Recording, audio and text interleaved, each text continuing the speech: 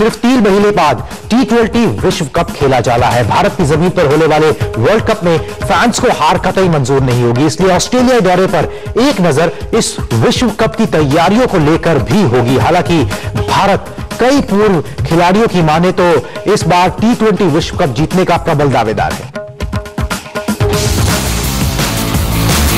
20-20 over का खेल, रोमांच सौ फ़ीसद।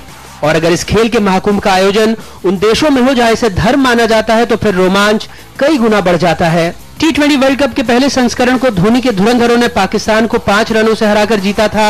अब चुनौती भारतीय उपमहाद्वीप में है तो खेल के दिग्गजों को लगता है कि ट्रॉफी टीम इंडिया के पास ही रहेगी।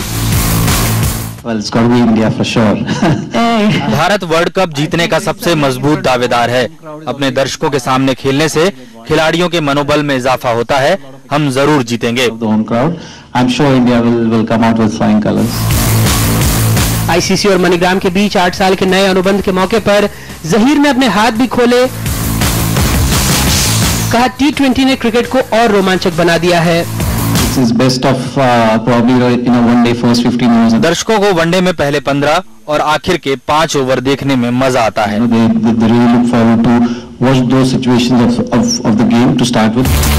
इस मौके पर जहीर खान ने वर्ल्ड कप 2011 में टीम इंडिया की जीत की यादों को भी साझा किया।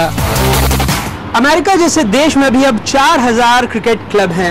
ये खेल की बढ़ती लोकप्रियता ही है कि तमाम विवादों के बावजूद आईसीसी की तिजोरी भरी रहती है और दुनिया के कई देशों में कारोबारी इस खेल से जुड़ने की जुगाड़ में है। मुंबई से कैमरा पर्सन राजेंद्र दयालकर और दीपक पीएन के साथ Anurag Dwari India. Sir T world cup की बातें शुरू हो गई मगर टी वर्ल्ड